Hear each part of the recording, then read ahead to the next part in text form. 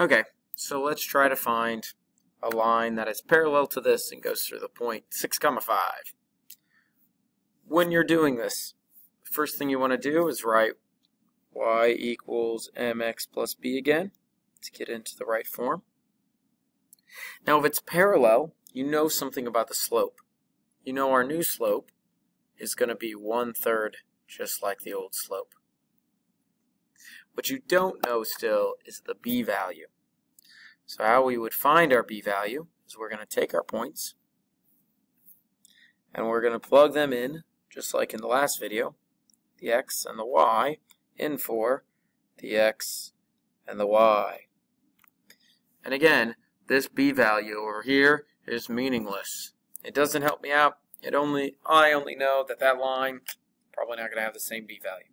Let's plug it in get 5 equals 1 third times 6 plus b, which means I get 5 equals, well, 6 times 1 is 6, divided by 3 is 2, plus b minus 2 minus 2.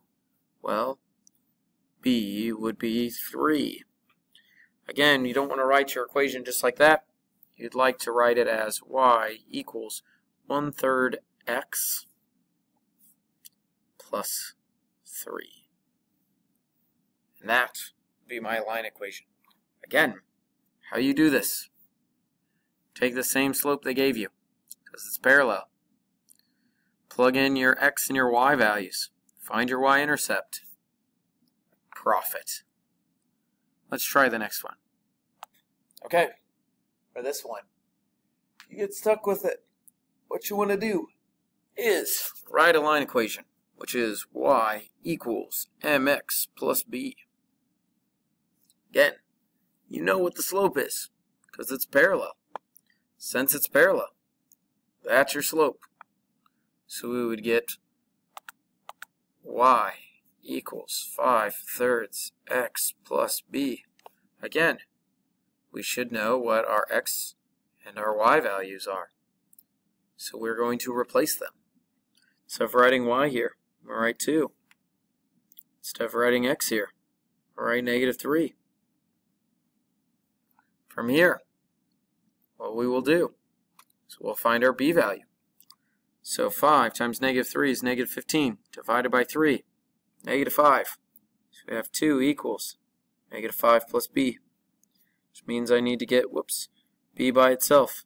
So I add 5 to both sides. I'd get b equals 7. Again, we want to write this as a line equation. So the line equation would be y equals 5 over 3x plus 7. Answer and done. Let's try another one. Okay, so for this, when I get this kind of equation, what I would want to do is write y equals mx plus b I have my line equation.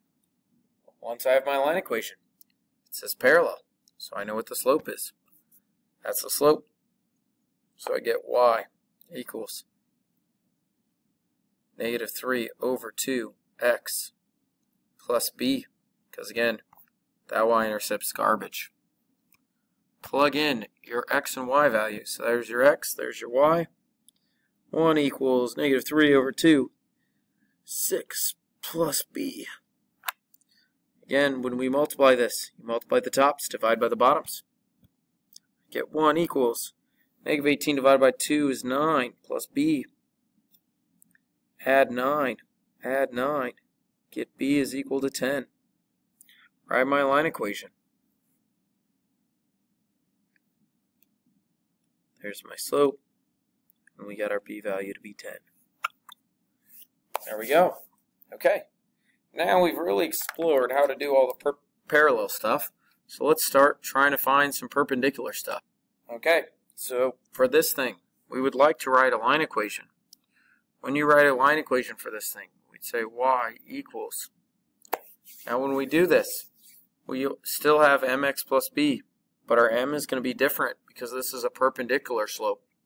So what it means to be perpendicular is it means it's exactly opposite. So we'd have y equals negative 4 over 1, because this was a positive, so we make it a negative, and it was 1 over 4, so now it's 4 over 1, x plus b, because again, that 3 is garbage. Plug in your points. 4 equals negative 4 over 1, 5 plus b. Well, we know what this is. That's 4 equals negative 20 plus b. Add 20 to both sides. So I'd have b equals 24. Now this is the important part. Do not use your old slope.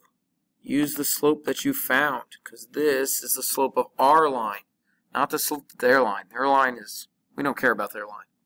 We care about our line. So this is the slope of our line. So we're going to use y equals negative 4x plus 24. Let's try another one. Okay, so this is the last one we're going to do. Again, if you get stuck, please let me know, and I will help you out. When you try this one, again, we're going to do the same thing. We're going to say y equals mx plus b. We're then going to find our slope. Now our slope is perpendicular, which means it's an exact opposite. So that's negative 2 over 3. Ours is going to be 3 over 2 x plus b. Again, we don't know what our b value is. So that's what we have to find. Their b value is garbage. So we want to take our x and y and plug those things in. I'm going to get 1 equals 3 over 2 times 2 plus b, which will end up giving me 1 equals, well, 3 over 2 times 2. Uh, that's going to be 6 divided by 2, which will be 3 plus b. I'll subtract b from both sides and get that b is equal to negative 2. So that's my b value. This is the slope for my equation. So our answer would be 3 over 2x minus 2.